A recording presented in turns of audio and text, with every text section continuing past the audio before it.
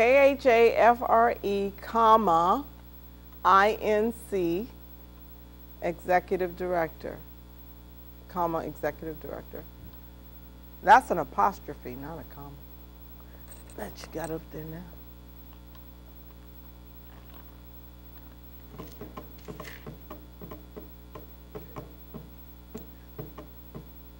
order in particular? Um, let's see. I think it, um, Should have read your uh, biography, biography first. Yeah, you probably should have. Yeah. Uh-huh. Yes. And then this is entrepreneur, writer, and an educator. Mhm. Um, entrepreneur, educator, writer. Um, education led into my writing, but that's okay. It's either way, I can flip it either direction.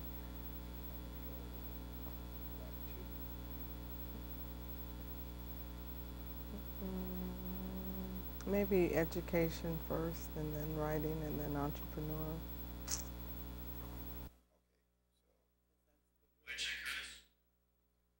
So, uh, okay, all the way up.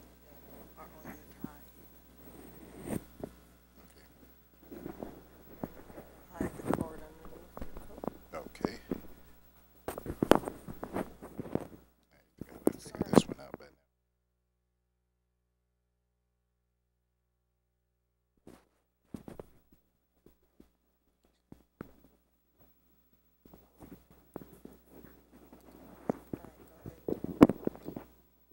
Okay.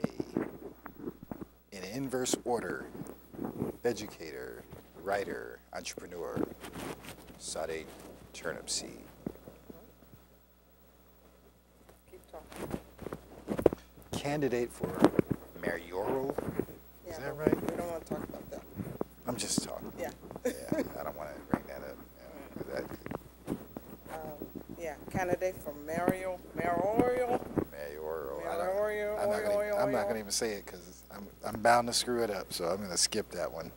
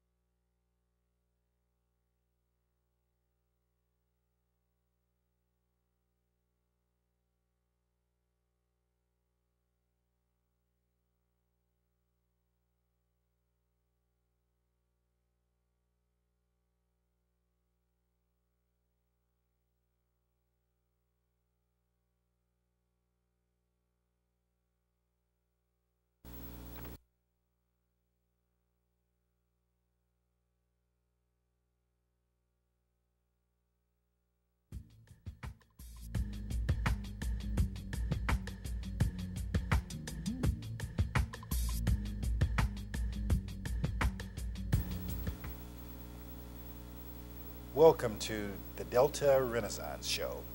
I'm your guest host, Curtis L. Smith, and today I have a special guest, Sade Turnipseed,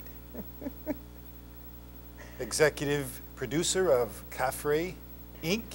and co-owner of The House mm-hmm. in Indianola, Mississippi. Mm-hmm. Welcome, Sade. Thank you. Today, I'd like you to give us some information about yourself. Now, I know that you host this show and you've had many wonderful guests, but today I have the privilege of interviewing you. So, Sade, tell us something about yourself. I'm so honored to be here as your guest, Curtis. All right. it is. It's truly an honor, and I'm glad um, to be here and to um, do this show. I, I would love to tell you all about me, but from the beginning, I can say that I was born and raised in San Francisco, California, the greatest city on the planet Earth. And also the coldest. And, and sometimes, most Yes. well, in fact, most times Yes. it's the coldest. Uh, but you learn to put on sweaters no matter where you go, Right. no matter what season it is. But it's it's a wonderful place to be from and to live in, and I I love my home. Yeah. Right. So, but um, growing up in San Francisco uh, was a very unique experience, and I treasure it. And so there's where I got all of my footing for, you know, who I am today as an educator, entrepreneur, and writer, and all these various things. So, So, who are some of your influences in uh, San Francisco? in San Francisco, it would have to primarily be my parents, of course. Okay. and that little village that I grew up in. Uh, I grew up in a little village that I like to call village at Hunters Point, Potrero Hill, and Bernal Heights. And, and then once I was grown and on my own, moved to Diamond Heights, and then eventually on into the East Bay, Oakland, Berkeley area. So, Okay. mhm. All right. So, your transformation from San Francisco into Berkeley, the East Bay, Oakland, California, was that more related to your education experience, or was there something going on that brought you over into the other side of the bay? I think the cheaper rent. right, okay. But I, you know, I was one of those folks who went to school every single place that I lived, in every city that I've ever lived in. I, I enrolled in the university or the, the community college. So I first um, approached my higher education uh, in San Francisco at San Francisco Community College. Went there for a few years and then uh, transitioned to the East Bay and uh, went to Laney College, Alameda College, Merritt College, and then ended up going back to San Francisco State and graduating there. And then Okay. between there uh, and and both sides of the Bay, I ended up going to UC Berkeley and then uh, graduated from Golden Gate University in San Okay. Francisco.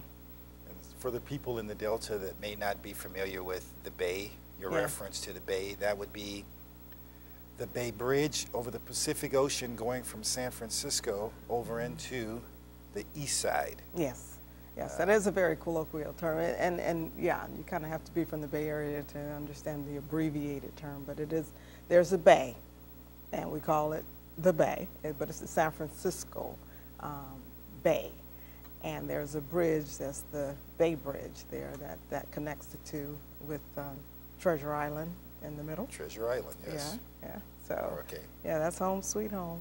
Yeah. Okay, and that's about it. The toll for that bridge is approximately, what, $5? You know what? I think it's going up because they just built a brand new bridge. I haven't seen that brand new bridge Okay. yet, but I understand it's quite gorgeous, and it's probably going to be ten dollars by the time I get back home. Okay. So let's talk about UC Berkeley. Mhm. So what was your primary area of study out there? My primary focus um, at Berkeley was marketing and advertising. Uh, communications was my field of expertise, and so I, I studied there for a couple of semesters. I produced um, some shows like Sweet Honey in the Rock and Maya Angelou. We called it Sweet Sunday at Zellerbach. It was a really historic event. I'm very, very proud of that event. It kind of whet my appetite into the arts and production of the arts. Um, and so it was a sold out performance. It was phenomenal. Uh, and, and truly, uh, even Maya, Dr. Maya Angelou and Sweet Honey in the Rock, they still remember that particular uh, performance as one of their most outstanding performances. And, and I will have to agree, it was phenomenal. And um, so for it to be one of my creations, I'm quite Yes. proud of that. Okay. yeah, All right. so, you know, Berkeley was one, but um, San Francisco State, I think, is, is probably even more uh, relevant to where I have gone in my career because I- got the degree there um, in broadcast communication arts, and this is where I learned television production, and that was my degree. It was radio and television broadcasting Okay. and um, then left there and went to Golden Gate University and got a master's in telecommunications and then a master's in business administration from Golden Gate University as well. So now I'm here working on a PhD or just about done with it uh, from Middle Tennessee State University. Okay. That sounds like a lot of semester hours. It's a, it's a lot of work, but it seems like this last sec, this last phase, um, this PhD, it, it ties it all together. It's public history, so it allows me to engage the arts, um, all of the historical research, and um, you know just all of the things that I've worked on thus far. It makes sense, and and and and history truly does inform the arts in so many ways on so many levels. And so I'm just very honored to be to have been selected to participate in the PhD program at Middle Tennessee. Okay, great. So your education experience culminated from the community college system in California. hmm You went to the West Coast Ivy League, California Berkeley, the Golden Bears, to San Francisco State. hmm So that's that's a tremendous educational experience. Yeah, it's a lot of work, but you know, I like to think of it as a, a place, it's a haven, it's a safe haven uh, for, you know, young women, um, for young men. It's, it's a place to go to stay out of trouble. Okay, well, we'll be right back with Sade Turnipseed.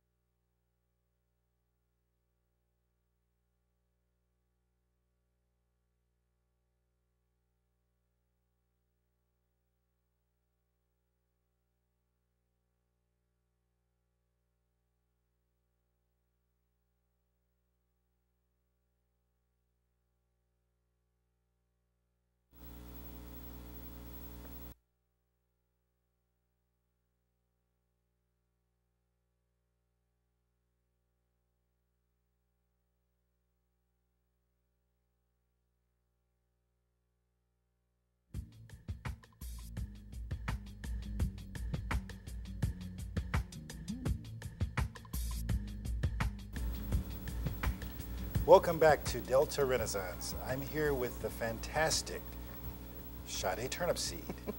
Sade, we talked about your educational experience. I want to know how your educational experience influenced your writing. Mm-hmm. I know that you're a big writer, mm-hmm. and I know that that's one of the things that you really like to relate in your experiences here in the Delta. So tell us mm-hmm. something about that. Yeah, I've, I've developed a passion for writing, I think, as a result of me teaching. Uh, I was an English teacher, and um, it started perhaps in Los Angeles, where I was teaching the high school students there, and also at Cal State Northridge. But in the high school, um, there was a particular concern that I had, and it was the issue that these young kids seemed to be very angry. they just were. And so, you know, I needed them to express themselves and just, just, just pour it out on paper. What, what's going on? You know, what's going on in your life that you need to release and, and just vent. And, and um, you know, I think that somehow there's a lot of therapy that's involved in that if you just put it out there. You know, sometimes you can't say it the way that you really want to. And, but as an English teacher talking to her students, um, it was an opportunity, you know, to really understand these, these young people a little better and to also, for me to understand the times and the place that I was living in. And it was a situation where the children at, at this particular high school, um, at that time, over 10 years ago now, a full third of them were children who lived either in group home or in a foster care situation. That's where the anger and the frustration was coming from. They felt that all of the adults in their world were paid to be there, including me, their teacher. And I was horrified when I found out those statistics. And so I truly, you know, felt so, so very bad about society and about you know where we were and how we were treating our children or you know putting them through things that was just simply unfair. And so i challenged the young people to please write instruction for adults. Um, could you help us to love you better? Could you help us and, and show us the way you know back to good parenting and being that um, those those those folks who though we say you know, the future is for the young and for, um, the, you know, the, the, the, young are the ones who are going to take over the future and all this other thing, but how are we preparing them for that? Right. And okay. so to be better stewards of their community, of their world, teach us how to love you better. Right. You know, and, and okay. so what are the tools that you would give us to get to that place where you feel as though we as adults are doing our job. Right. And so these these young people they were brutally honest. I mean brutally honest. But it all came down to one very critical point that they were all trying to make. Can you imagine what that that that need was, what they wanted from us more than anything else? Possibly love. Love but it was also how do you give love is through time, right? right? And so it's just time that they wanted. They didn't want the gifts, they didn't want the this, the that, and the third. They wanted your attention and they wanted your time. And so that was the most precious thing uh, that they revealed in their writings, and it was a book and an anthology that we put together that's called Saving Ourselves uh, by writers of the 21st century, A Surrogate Embrace. It was a pretty long title, but it just ended up being, they're going to save themselves, you know? Okay. And um, since it seems that we're not doing such a good job at it, they just decided through their own writings that they want to save themselves. Okay. And so it was through that that I then came to Mississippi and, and decided oh. to come oh. here and sit down and edit this Right. So that's my next question. Book, yeah. I see that you have a breadth of experience here. And so there's lots of wisdom and knowledge. And culturally, you've gone from Northern California to Southern California. How does this prepare you for the culture of the Mississippi Delta and the ideas and the things that you're trying to help students with, particularly in your writing? To be very honest, I don't think anything prepares you for the Mississippi Delta. You just have to get here and experience it for yourself. And just with the knowing that this is the epicenter of America's culture. This is the epicenter of America's root pain, I think.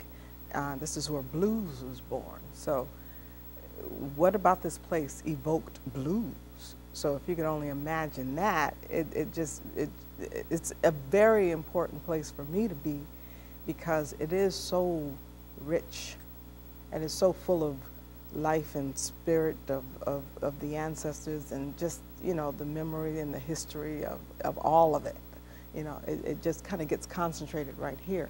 So as a writer, I have not ever been in any environment that is so stimulating as, as is the Mississippi Delta. My people, when I first got here, um, I was in the hills up in Choctaw County in Ackerman. And even there, it's two hours away, but it's, it's very distinct from the Delta. And so when I got here to the Delta, it's, again, very different from any place else that I have ever lived in my entire life. But I fell in love with this place. And I guess it is because it's, it's just so charged and so fueled with the kind of thing that an artist is gets gets inspired by. I mean, this is the this is the stuff you know that informs your art, and so I've been very very productive and um, again highly charged creatively.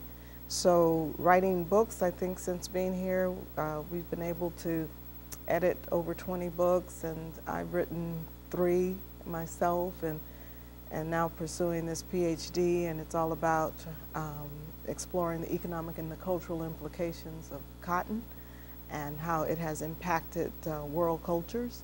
So that is, is primary research. It's, it's, it's, a lot of secondary research study in there and just documenting and pulling a lot of the stories that have never been told.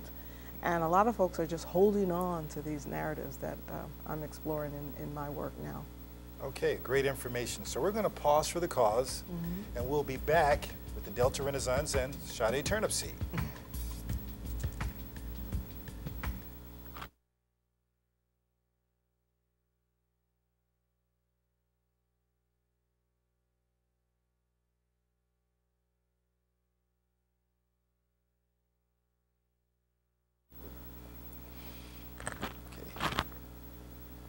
much time we got left? Oh, perfect. Good stuff. You're doing good. Okay. All right. I remember to look into the camera. All right. I was really, I was hoping you didn't jump into the Delta because I was I was trying to wave uh, save that one, but when you got there, I said, okay. well, so now we can go from you're here and what are some of the projects you're working on and you know, the entrepreneurial side of it, but I definitely want to talk about the Cotton Picker Monument. You want to talk about oh, it? Oh, yeah. Okay, Cotton Picker Monument. Mm -hmm. Cotton Picker Monument.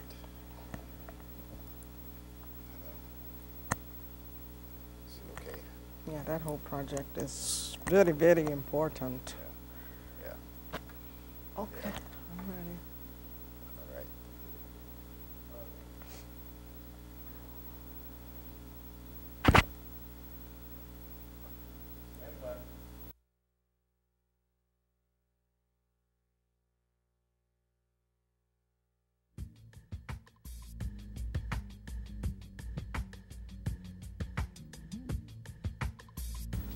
Welcome back to Delta Renaissance. And I'm Curtis Smith, your guest host, and I'm here with Sade Turnipseed. Uh, today we found out quite a bit about you. Yeah. Some of the things that we've probably been longing to know about you, and now you're informing us. Tell us more about some of your projects, some of the things that you're working on, and some of this, the improvement efforts that you're targeting to the Mississippi Delta and Sunflower County. Oh, okay. Well, um, since coming here to the Delta. I've been here almost uh, real close to 10 years, sorry, getting real close to 10 years now. And I've been involved with several different kinds of work. Um, I was initially working with MACE, uh, the Mississippi Action for Community Education, and helping produce the 30th Annual Blues Festival, and was recruited by the B.B. King Museum as their inaugural Director of Education and Community Outreach, and then from there got recruited to do this PhD. And in the in betwixt and between, I opened up my own business, which is the House of Khafre, along with uh, my partner uh, Robert Terrell, and it's in downtown Indianola, and it's the only African art gallery and cultural center in the entire Delta. And so we're very proud of that, to be able to have a cultural center.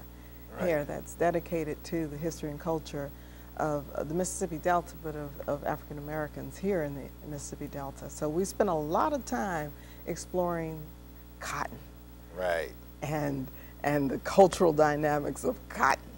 And what I've discovered is a whole lot of folks are still mad at cotton. Why are they so mad at cotton, Curtis? I don't know. I personally like cotton, not necessarily cotton picking. I know. cotton, shopping, Cotton wears cotton very well, very don't it? nice. So, um, in that work, it, it has just opened up a whole, boy, plethora of, uh, again, ideas and projects and, and great interests of, for me.